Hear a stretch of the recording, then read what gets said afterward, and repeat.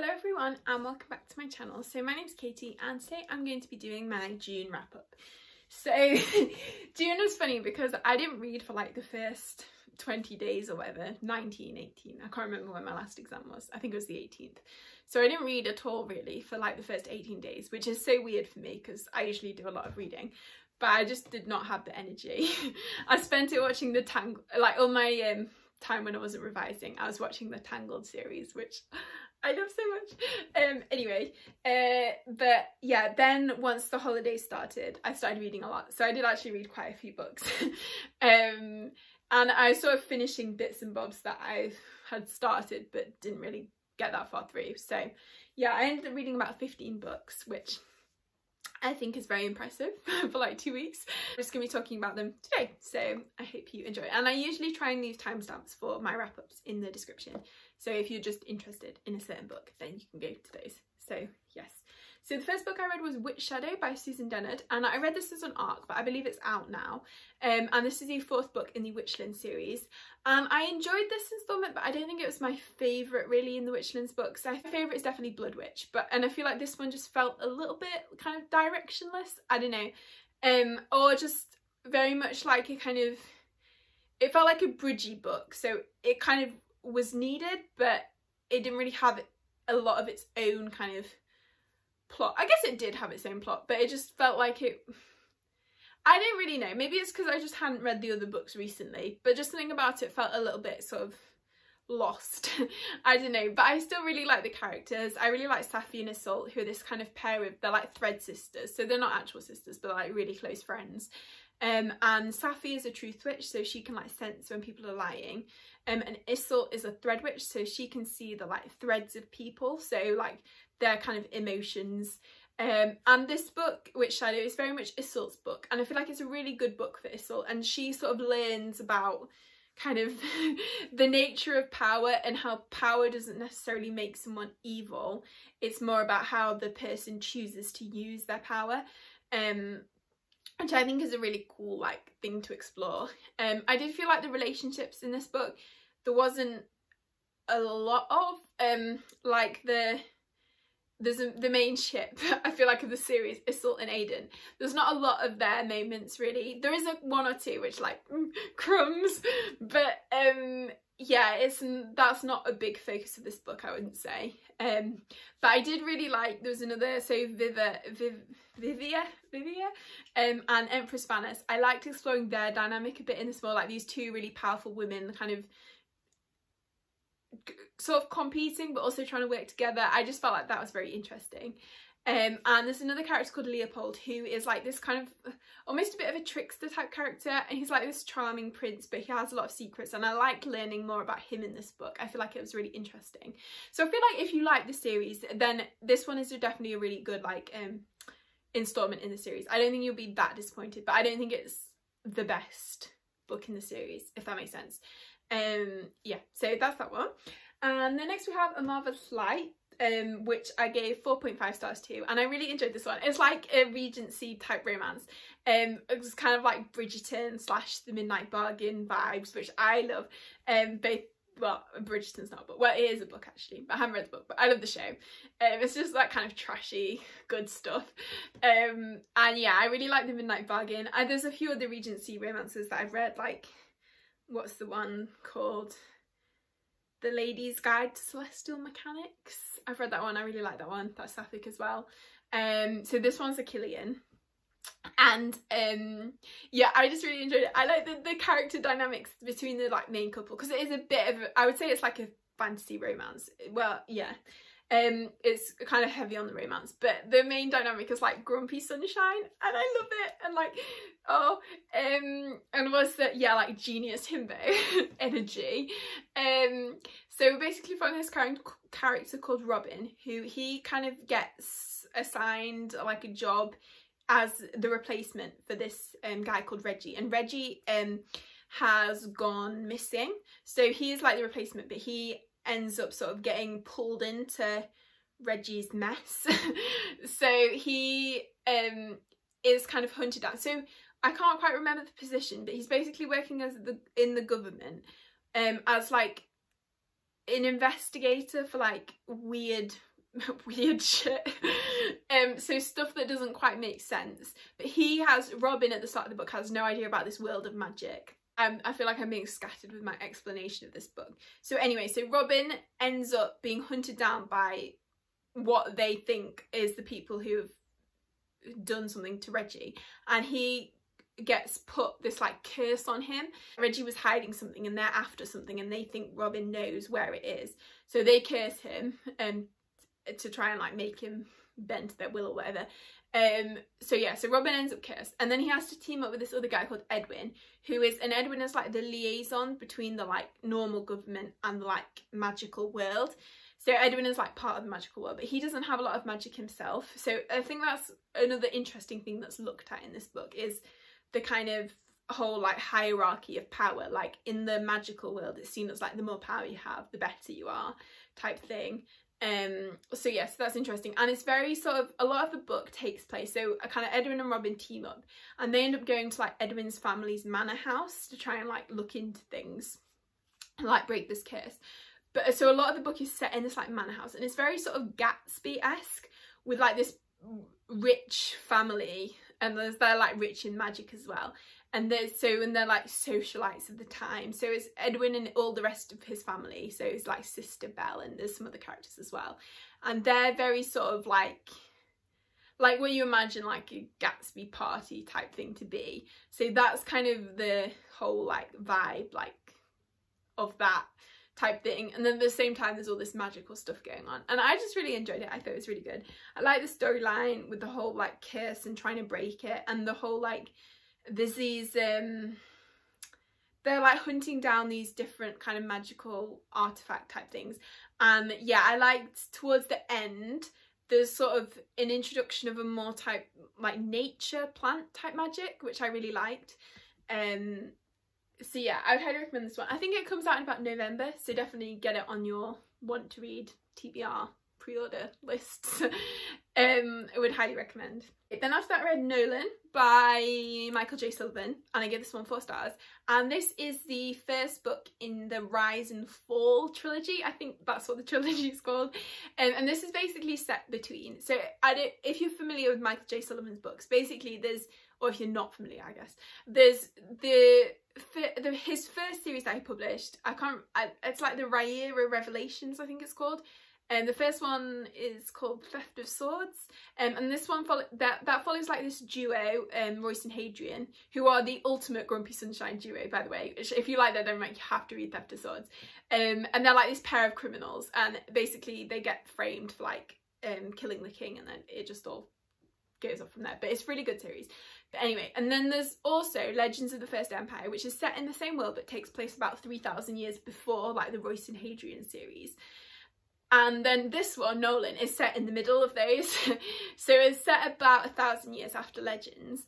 Um, and I would say you could easily read Nolyn without having read the Royce and Hadrian books, but I feel like you would struggle if you hadn't read Legends of the First Empire because the it's very connected to Legends. I feel like it's almost a direct like continuation. It's kind of following the children of some of the characters from Legends and I feel like a lot of the events are stuff that's sort of it's almost like wrapping up how Legends like left off in a way. Um, and but I I really enjoyed the story. Um, I liked so we're following mainly two characters, Nolyn, who's the titular character, and he's the son of ne Nyphron and Persephone. Um, and so they're like the emperor and empress basically. And yeah, what is he even doing? I've forgotten. Um, so basically he's been sent like the edges, fringes of the war, and he thinks he's been sent by his father to basically die. Um, but I mean, events uncover that maybe that's not quite as true as he thinks as the book progresses but that's initially what he thinks he is so he's anyway teams up with these other like fighter men I've lost all my words today um so that's kind of how his story starts and we're also following Sephryn who's the daughter of Moya and Tek Tekshkin Tekkin I can't remember his name, but um, from the Legend series as well. Um, and Sephryn's a great character. She's probably my favourite character in the series. And and, and her storyline as well is great. So basically her son, Nerga, who is like a baby, gets kidnapped and um she is like being not controlled, she's being like talked to by this mysterious voice in her head who's like making her try and steal this um, artifact from the um, Emperor's palace to in order to get her son back. And so she teams up with like this weird I don't even know how he comes into the story but this monk character and also this like thief called Errol. And I love the three of them they're dynamic. And the whole storyline of them trying to pull off this heist um is quite funny. And also the whole theme of motherhood I thought was really good in this book. And there's another character as well I can't remember her name. It begins with an A. She's sort of mentally um lost. And uh, but throughout the book we sort of see why she, the way she is and the way it kind of comes around full circle. I really like that about her storyline. So anyway and and how it ties in with Sephryn's storyline as well um so yeah i like i really liked both like i really like Sephryn and i quite like Noah he grew on me throughout the book but yeah and the way that their storylines kind of come together and how everything at the end i thought the ending was so good yeah, I just really like Michael J. Sullivan's writing. It's really easy to read and I feel like he tells a really good story. Um, I was a bit sad. it was funny because all his other books I've read on audio and it was so funny reading it physically because all these like words were completely not the way I thought they'd been spelt. Um, but yeah, so anyway, that's that one. Um, and then I had Trailer Park Trickster, which is the sequel to White Trash Warlock, and I gave Trailer Park Trickster 3.5 stars. So I actually really enjoyed White Trash Warlock. I, I requested it just because of its name um, last year, the first one, because um, I thought, I guess White Trash is like the American version of a chav, and I just thought a chavvy story is going to be so funny. Um, but I actually really enjoyed it.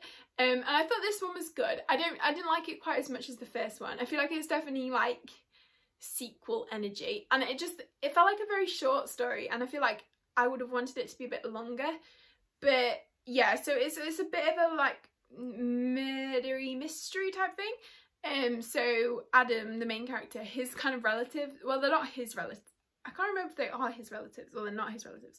But anyway the sort of um one of the women who helped raised him like mysteriously dies and then the rest of her kind of families start dying and they're trying to like figure out what's going on. Um, so that was kind of the main plot of the book. So it's a bit like a, yeah, I guess it's a bit like a murder mystery.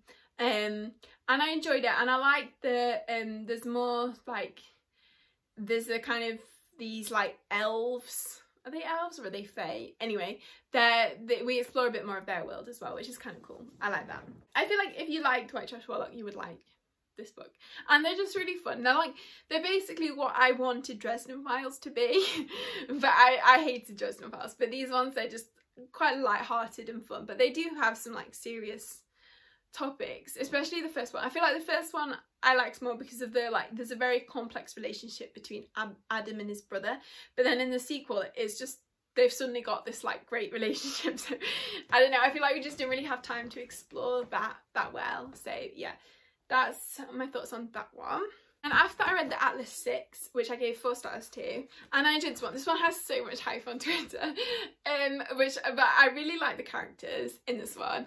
Um, I feel like it was bordering on a little bit too pretentious for me, um, but I did really enjoy it. Um, the, yeah, I really like um, Nico and Libby, their like dynamic was so great. There is they're kind of like the almost platonic soulmates type vibes, which I love. Um and like but they have a lot they're almost like enemies, but well not enemies, rivals, I think like academic rivals, but you can tell they like can't live without each other and it's so cute.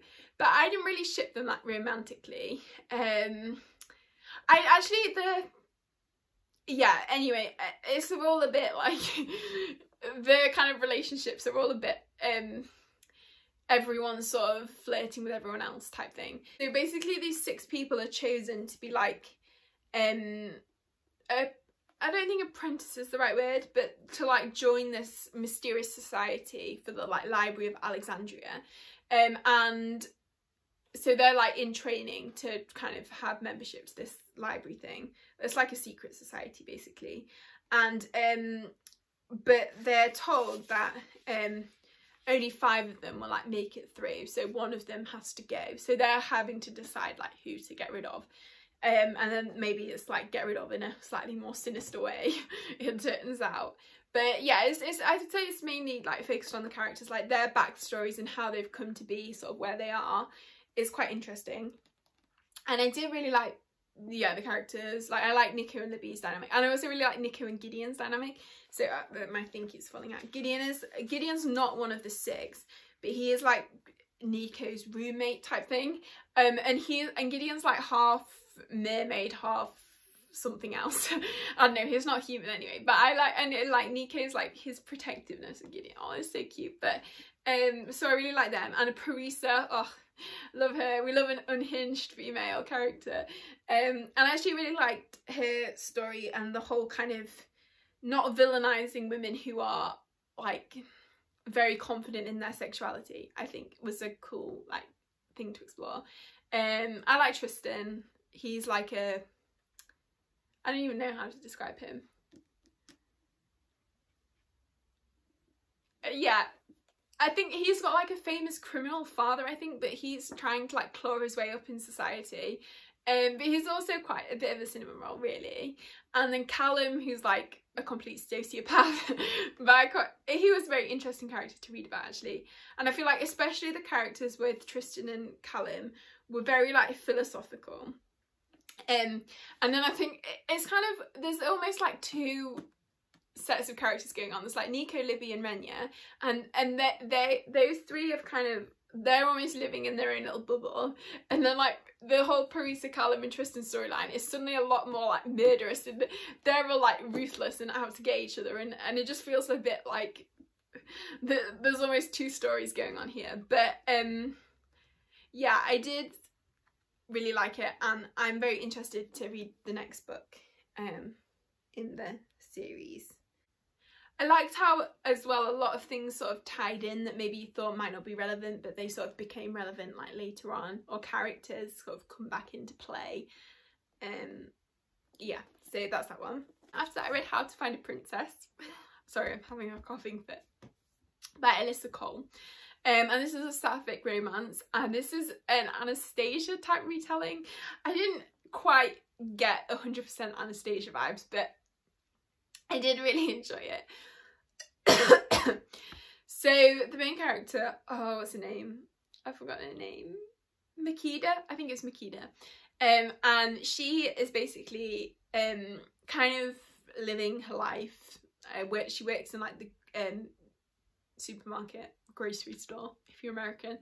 Um, and she is very much like a people pleaser. I think she lives with her grandma and her mother. She has a weird relationship with her mother because her mother like became obsessed with the thinking they were like royalty and and but then she ended up leaving and anyway. So but one day she is visited by this character called Beznaria um and Beznaria thinks that Makeda is like the long lost heir to the is it Iberian? I, I can't quite remember the name of this country but anyway it's a country where they have like royalty. Um and she wants to take her to like claim that she is the royal. So I guess that's kind of like the Anastasia thing. Eventually Makeda is like convinced she'll come along but she only wants to do it for the money because she's ended up in like debt and and she doesn't really think she's the princess.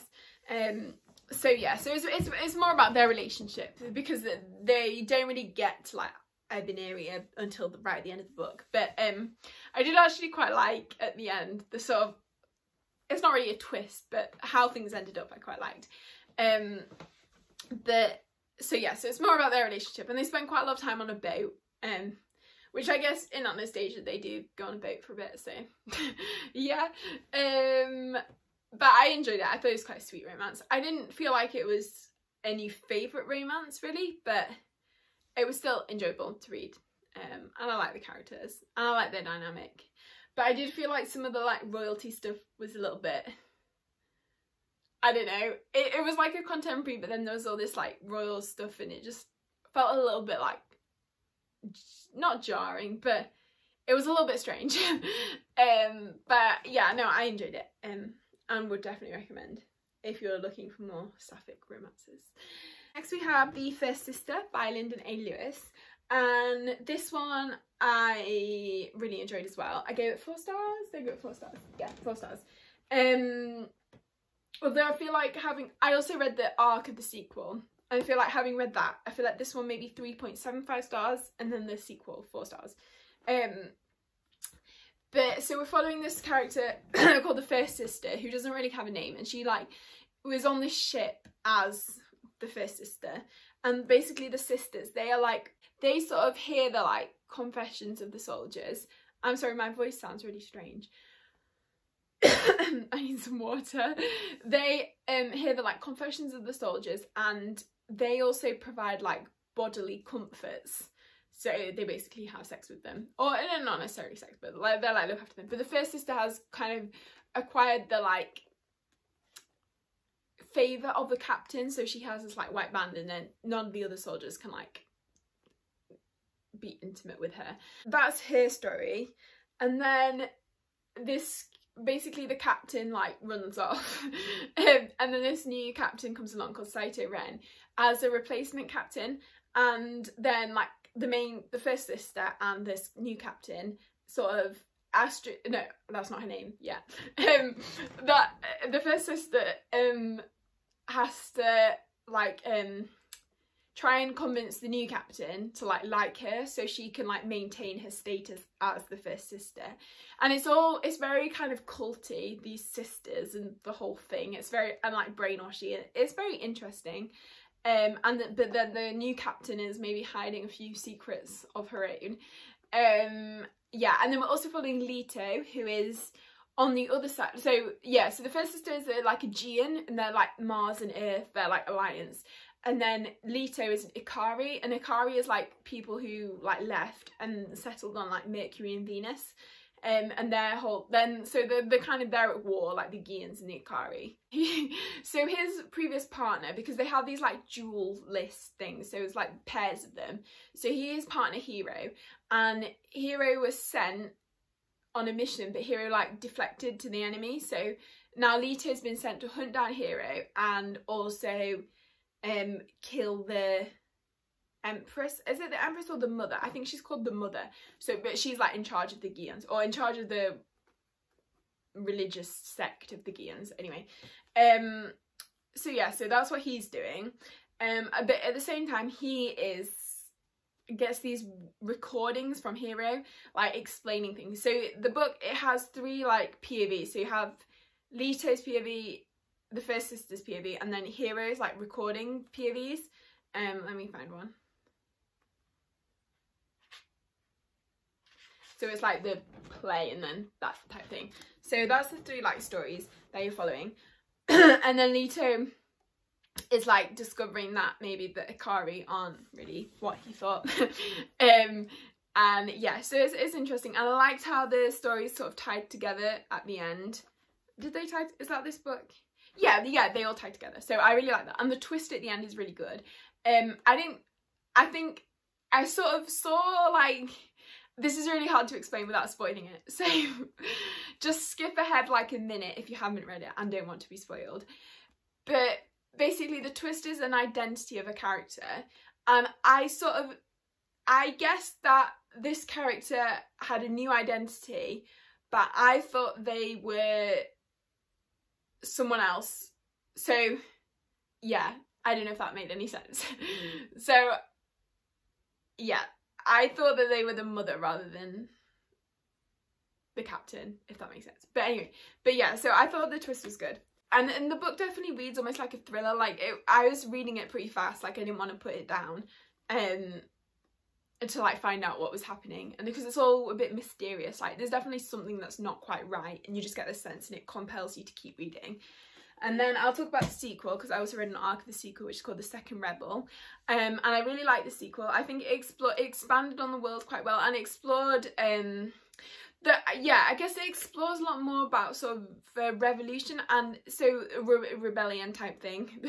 Whenever I start saying this it always reminds me of the scene from Final Space um which just makes me think of like every YA book ever when one of the characters Tribore is like the rebellion is going to take on the uprising he's going to take on the revolution he's going to take on the insurrection and it's really funny but anyway um so yeah so this one so I talked about the Icarii and the Gaeans, who are the two like warring factions. Then there's also the Asters, the best way I can describe them, they're like belters from the expanse.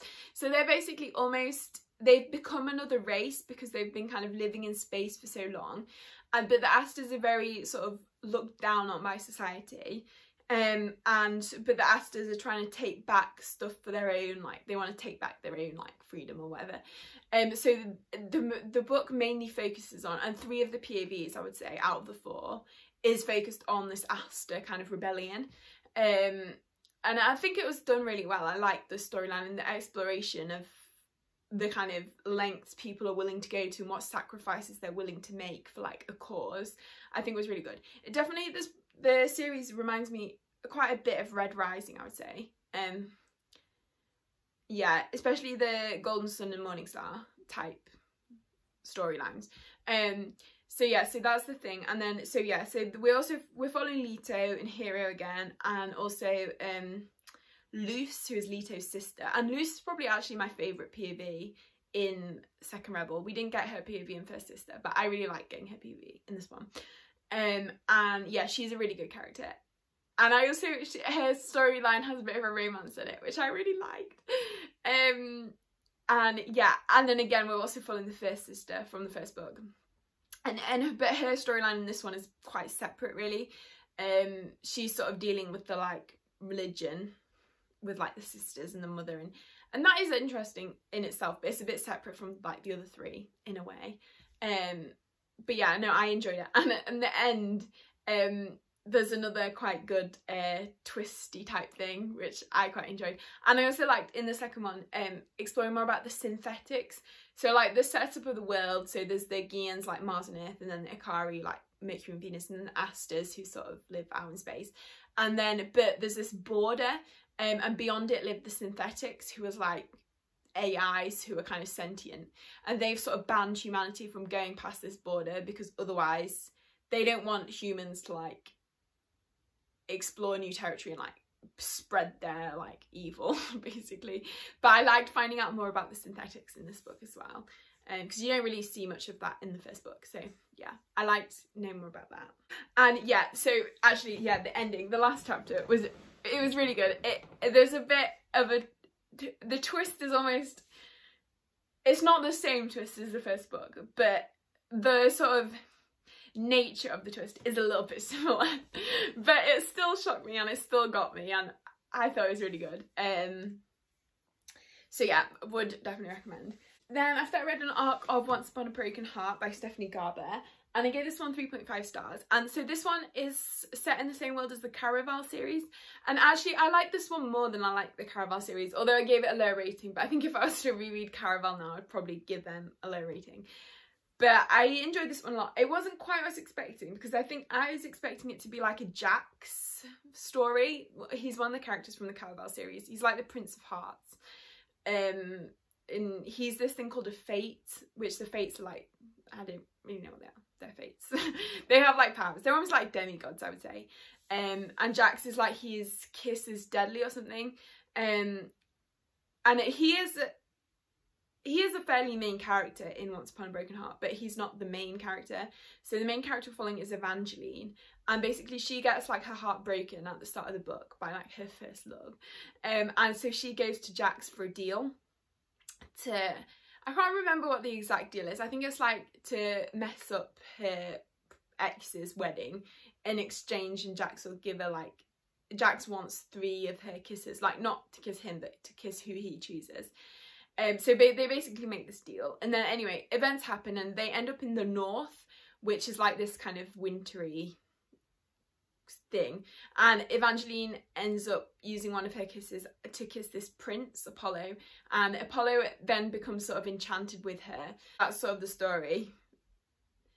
I don't know how to explain what happens from there without spoiling it. So that's kind of like the setup and then it sort of ends up becoming a bit of like a like a folk like folk fairy tale with like the dangers of making wishes basically um yeah and then things keep happening and um and Jax is a quite a prominent character and he's a bit of a trickster um and it's like Evangeline trying to deal with him and also Evangeline um sort of coming to terms with like love and loss and all that and I really liked it um I just feel like I wasn't fully I don't know. First of all, I feel like it wasn't that long. It was quite short to read.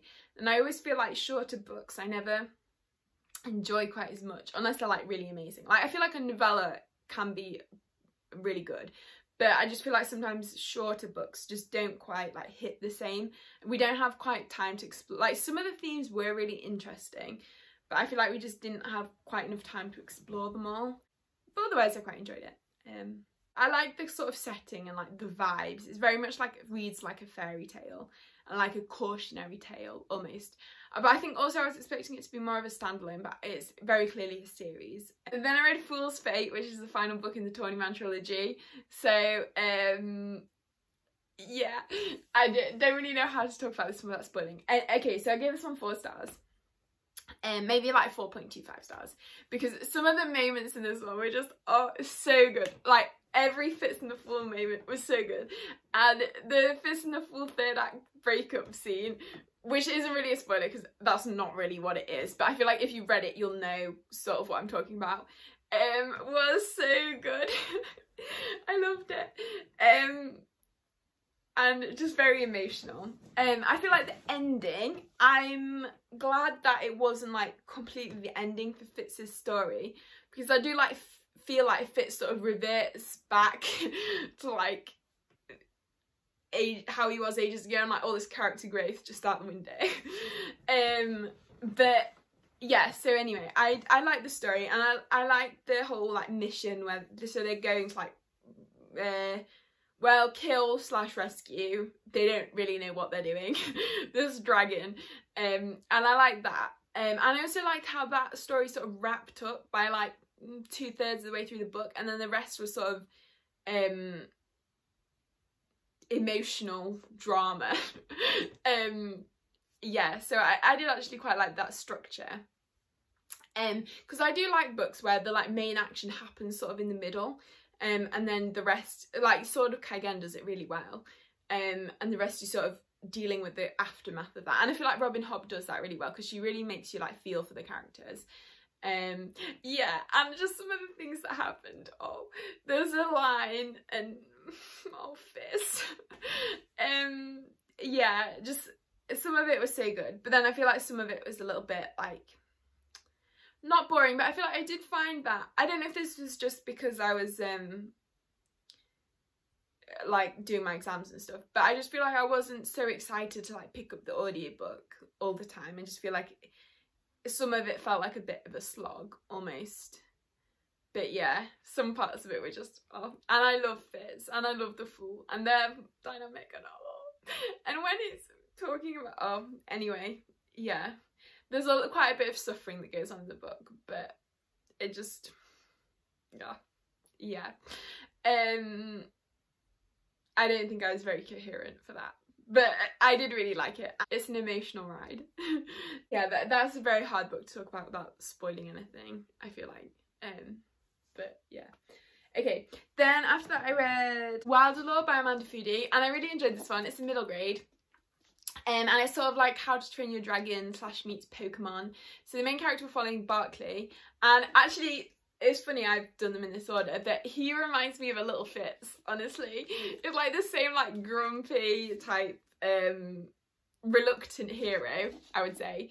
Um and basically he accidentally bonds with this beast and in the world they have these like keepers who are people who bond with beasts and they have like beast marks so the beasts like live in a little tattoo and then they can like summon them um but Barkley doesn't want to be a keeper and so he is trying to get rid of his beast mark.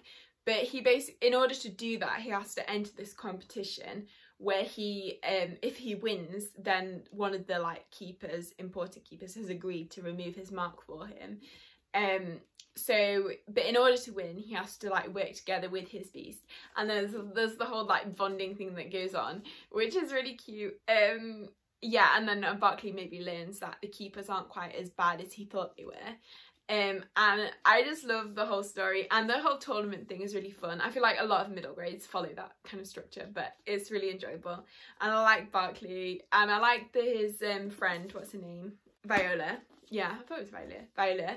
Um, and also the there's some other like the side characters like side friendships I thought was done quite well. So there's some like twists like there's um a character who's kind of quite obviously evil but then he sort of has an apprentice but you don't know who that apprentice is. And there's a character that you very clearly think should be but then like actually it's some other character uh, um yeah so I just thought that was done quite well. I don't think I'm explaining that very well but um yeah and I actually the ending makes me very excited for the next book. And also the whole dynamic between the characters in the next book. I think I'm gonna enjoy a lot. But um yeah so I really like this one. I feel like it's a really good start to a new middle grade series. Um and just the whole um like I really like the whole woodland setting like the foresty magic. I also thought was really cool. Um so yeah so that's that one. I read The Maidens by Alex something. I can't say his surname. I can't remember it to say it. Um he's the same author that wrote The Silent Patient. So this book it's kind of hard to review. I gave it three stars because I feel like it was well written and um the like vibes were impeccable like very dark academia type thing and actually later in the week we went on a day trip to Durham um and I just the whole like it was making me think of the book like with the dark academia stuff. But um yeah so it's kind of a psychological thriller which I think was where I struggled because I do not like psychological thrillers at all. And I I have a general hatred of psychiatry. Um so yeah I didn't really like that because there's quite a strong like psychological element to it almost. Um and I did think the twist was kind of a bit well, yeah, I was fine with thrillers. I don't really like, I never really like the twists that much. I don't know why. I just feel like it's sometimes, because like you get used to reading fantasy books where sometimes twists can be like, change the whole like way you see the world almost like the I don't know but and then the twist in the thriller book always just feels so like petty I don't know how to explain it but um and I did sort of see who the sort of villain was a bit earlier on because basically so we're following Marina and she uh, is a psychotherapist um, and she goes to Cambridge because her like sort of surrogate daughter um, is there at university and one of her friends has died um, or been murdered um, and Marina goes to like obviously support but then she becomes like pretty obsessed with this other guy called Edward Fosser or Fosca who she thinks is doing the killings. Um, and then more girls start dying and she becomes more and more convinced that this Edward Fosca is the murderer. Um, so yeah and it's kind of about her trying to prove that. And then and the, but at the same time the girls who are dying are part of this like culty thing well society called the maidens who are sort of quite into like greek mythology. Um which is quite interesting. I like that side of things, um, and like the the killings are quite real, ri ritualistic, um, which I think was interesting.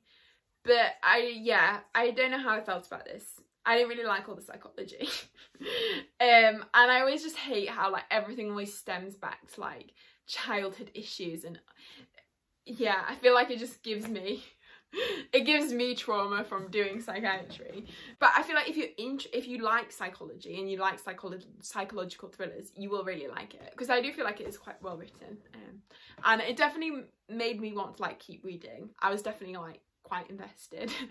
so then I read Malibu Rising by Taylor Jenkins Reid. I gave this one 3.5 stars. But to be honest, the first half of the book was like 2.5 stars and then the last half of the book was like 4.5 stars. So I really enjoyed it once it got into like the whole party thing because the premise of the book is like these four like famous siblings host this like big party in Malibu every year. And this time there's like at the end of the night the house goes up in flames. Um so yeah and i love the like the second so the second half is really the party and i love the like drama of the party and everything starts going down and it's also dramatic and it's really good and i really like that and i really love the four siblings um but the first half of the book was sort of following more the parents story which i didn't really like that much um so but i guess it does sort of tie into how the like siblings came to be how they are but yeah i definitely we preferred the second half of the book. So then I averaged it out at 3.5 stars. Um, so yeah, so we're following these four Riva siblings and they are the children of this famous singer called Mick Riva, who was actually, I think, one of Evelyn Hugo's husbands. um, but yeah, so um, Nina is the oldest and she is like this swimsuit model, I think. Um, and then Jay and Hud are like a very similar age. They're like twins, but one of them has a different mum. Um, so they're not actual twins. They were just born near the same time. Um, and then Kit, who's the youngest. And I also love Kit. She's, I need a, a Kit spin-off, honestly. Oh, she was great. So, but Nina is probably my favourite. And I do feel like Nina is kind of the main character, especially towards the end, like the events that happen. Um, and she just has so much, she's like sacrificed her childhood and her kind of um, life almost for supporting others and I just I feel like she's a really good character. Um, and there was there was a few like quotes which just really stuck with me. Like there's this one about how the next generation of family you can choose like your like parents will give you all these boxes and you have to choose what you want to take forwards but also what you want to kind of retire and i think that's good and i do think actually having said about not liking the parent story i do think it made it so like it is almost a generational story and you see how the like generations change and and so I do think that was quite interesting um but yeah and also the one thing maybe that made me dislike it a little bit more was I'm not a huge fan of like rich people drama and there is a lot of that in the book so I just feel like I didn't love that and I didn't love how much cheating there was. I feel like Taylor Jenkins Reid's books always have quite a bit of this but yeah I never really liked cheating storylines and there was a little bit of that in the book so that I guess lessened my enjoyment. But the characters I think were the main strong point for me and just the sense of like family. I love like big sibling groups and their like dynamics and it, for some reason it reminded me of the Blackthorns from um Shadowhunters. I, I don't know why. I think it's just like in LA and like the kind of children having to like raise themselves and anyway um but yeah, so I, I love the characters, but the like some of the story I wasn't such a big fan of. Yeah. Anyway, Witches of Ash and Ruin by E. Latimer. And this one I really enjoyed. I gave it 3.75 stars. Um, it's very, the vibes are really good. It's very like witchy. It's set in a small Irish town. And we're following Dayna and she um, and her like coven. Um, what do they do? Oh yeah, so yeah, so she's like living with the coven, but she is part of this coven, but also she lives with her dad, and her dad is like very religious. Um, so there's like a bit of conflict there. And then this new coven comes into town, who are a bit mysterious, and but then they sort of team up together because people keep dying. Well, there's like this new, this mystic, this like old slash new old serial killer who's like come back. It's called like the Butcher or something. Um, and he has started killing again. So they're trying to investigate what's happening because they think there might be like a sort of magical uh, reason, or it's like witches being targeted type thing. Um, so yeah, it's kind of so them solving that almost, but as the reader, you know who the killer is because you get the POVs of that character. And i liked and i like the whole like um celtic mythology the way the witches work like they pledge themselves to a god and then like get the like power of that god. And i like the storyline with the gods like how that ties into the murders and stuff. And, and i thought that was really good. Um yeah and i like the witchy vibes. And there's a bit of a sapphic relationship as well which i liked. And i feel i think i thought this was going to be a standalone but i think it's actually the start of a series which I think is interesting. Um, I feel like I could have been a little bit more attached to the characters. I think maybe that would have made me give it a high rating. But I did really enjoy like the story and the vibes and I just thought it was good. So yeah, I enjoyed this one. I'm trying to go a little bit quicker because my wrap-ups always end up being like 50 minutes and I try so hard to make them shorter and then just waffle, waffle, waffle. Anyway, um, so the last two books I read were A Little Hatred and The Trouble with Peace by Joe Abercrombie. So I don't think I'm going to talk about these for too long because I'm going to make a video dedicated just to these two. So just reviewing them. But basically I give them both five stars. I love them so much. The characters are just all my babies now. And I thought the plot was really good as well. And I feel like if you're like me and you're a bit unsure, because I didn't love First Law really. I, I liked I liked elements of it. I love Glokta. Um, but I just felt like the plot was just what plot? Um, and it, very and I don't mind books that don't have plot actually, but I feel like sometimes I like there to be a direction, whereas the books just felt a bit directionless. And sometimes it would be like in First Law, there would be like a story, but then it would just it was pointless. Like it would just amount to nothing. I, I don't know how to explain it, but anyway, um, and yeah the character I'm I only really like Glokta like loved Glokta the other characters I was always a bit meh towards but these characters I love them all and I feel like Joe Abercrombie really improves on his female characters like there's some amazing female characters in this book whereas in First Law there isn't really many um and just the plot was really good the I just love the characters um so yeah I would highly recommend them um if you read First Law and were kind of meh. I mean, if you absolutely hated First Law, you probably wouldn't like these because they are definitely still quite grim dark. Um, but I just feel like they have like a humorous tone to them, which is so good. And oh yeah, I just really liked it. Um, so yeah, would highly recommend. So yeah, but I, I, if you want more, more of my thoughts on them, um, I'll leave my video like review of them linked. Um, just because this video is already quite long and I'm tired and I want my lunch. So um yeah, I hope you enjoyed this video and if you did, please give it a like and consider subscribing if you haven't already. Oh, and let me know in the comments um what your favourite book that you read in June was. Mine was probably A Little Hatred. Um or The Trouble with Peace. I don't know which one I like more. But anyway, um and yeah, I hope you're all having a really good day and I'll see you next time.